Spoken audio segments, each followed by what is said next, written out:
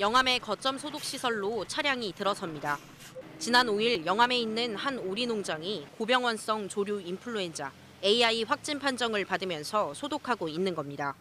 사료 등을 운반하는 차들은 기계 안으로, 살아있는 닭이나 병아리를 실은 차들은 직접 사람이 소독해야 합니다. 출발하는 농장에서 한, 지역에서 한 번, 또 출하하는 농장 그 지역에서 한 번, 그래도 한 번씩 하고 또 갈 때도 또 그 똑같이 하고, 그래서 네 번씩 해야 되니까 그것도 소독이 번거롭고. 영암에서 AI가 발생함에 따라 영암을 드나드는 모든 축산시설 관련 차량은 소독해야 하는데요.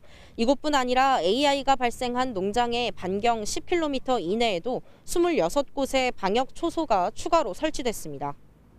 영암에서 발생한 AI는 전북 정읍과 경북 상주에 이어 전국에서 세 번째. 발생 농장을 포함해 반경 3km 이내의 농장에서 키우는 오리 50여만 마리가 처분됐습니다.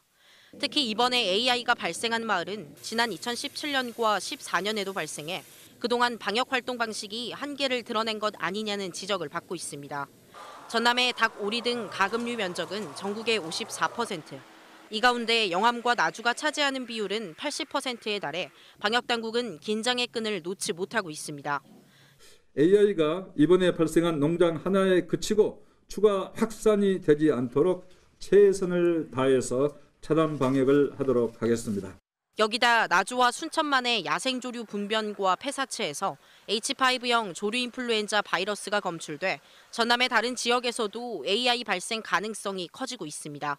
KBS 뉴스 김혜린입니다.